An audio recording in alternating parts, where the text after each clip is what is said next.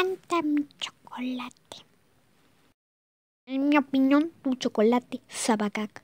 ¿Quién carajo sos vos para opinar sobre mi helado? Así era un helado. Jaja, toma, hijo de remil puta. Te gané.